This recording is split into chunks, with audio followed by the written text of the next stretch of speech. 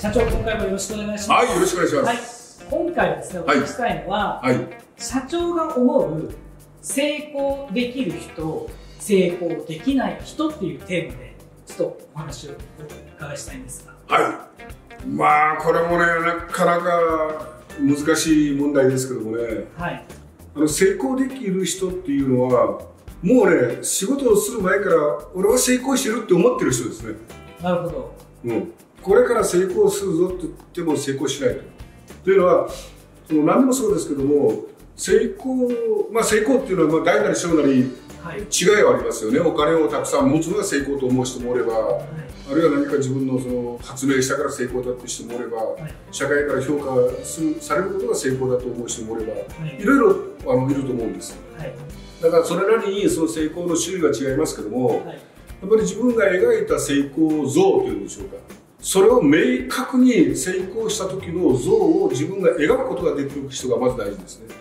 そしてそうなった時に自分が何をしてるか、どんなことをしてるかっていうことをもう今すぐやってる人が勝ちですね。うん。それが成功できる。で、成功したらやるぞっていう人は多分永遠にできないと思います。まずはやっぱりビジョンを明確によく言われるように、自分の未来を決めるっていう意味でいいですか？であの未来を決めるっていうかね、あの皆さんこう写真、えっとね、分かりやすく言うと、うん例えば大きな会社に行くと、はい。応接室に、はい。えー本社建設ビルとかあるじゃないですか。はい。えー1900何年竣工予定とかさ、あ、はい。はい。10階建てのビルを建てる予定とか、はい。こう書いてあるじゃないですか。はい。いやこんなビルが建つんですかっていうとあそうだっていや個人が個人でえー何かをえー話をした時にその絵すらないじゃないですか。はい。つまり映像で自分では見てないんですよ。概念で見てるだけであって。はい。やっぱりこう、自分の未来を映像化して、きちっと見見えるよう見にえる見えないとダメですね。カカラーしかも白黒じゃなくて。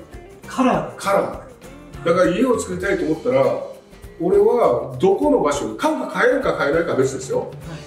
例えばここの東京のここにねこんな家を作るんだよっていうのをねはい。絵で見てないとダメですね間取りはこうなっててでこうなっててこれを作るんだはい。でこれは竣工は、えー2000何年の何月何日だこれが明確なビジョンですからゴールでもありますよね。そうなの、はいそうなのそれが見えてないと俺は儲かったら家を作るよってどこにってそのうちなってそれはもう永遠にできないでしょその通りだと思います。まあ決めるっていうことがやっぱり大事。そうです。そうすると、まあ、東京のど真ん中には作れなくてもね、どっか八王子に作りましたとかね、はい。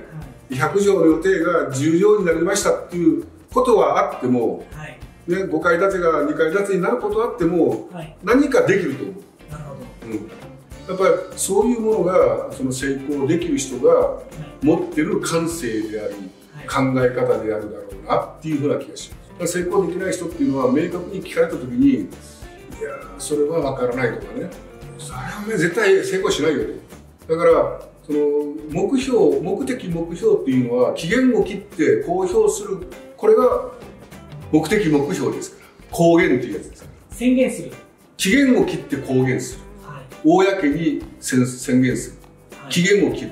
はい。で期限を切らずに言うことはなトイレにしゃがんでて自分でああこうなればいいなああなればいいなって言ってる単純な夢と一緒ですからだから期限を切って公表できる大なり小なりそれができる人はやっぱ1段目の成功2段目の成功3段目の成功として最後は大成功するんでしょうね段階を踏んだその方の能力が上がっていくごとに夢も大きく描けてその実現できていくそうですそうですね。でまあ私の例で話をするならば、まあ、中華屋さんになりましたはい。で自分が1店舗やってこれ日本全国作りたいねという夢を持ちました私はい。で全く同じように4畳半か6畳ぐらいの事務所にですね書道家の先生に頼んでですね全国制覇っていうこんな大きな垂れ幕を事務所にかけましたで社員が全国制覇って社長何度ですかって言うからこの中華屋のリサイクルショップを全国作るんだよって言ったら社員が笑いましたねこんなこんなところか全国に行って社長そんなことができるんですかって言ったら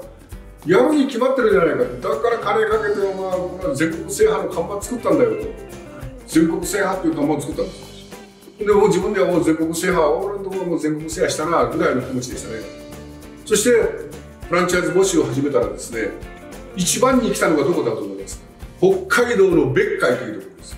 別海ってどの辺り？別海っていうとあの別の海って書いて、はい。よくあのマラソン選手が練習に行くところなんですけども人口が、えー、わずか3000人ぐらいで、えー面積がえー四国の香川県よりか広いぐらいのところに、えーわずか3000人ぐらいの町なんですね。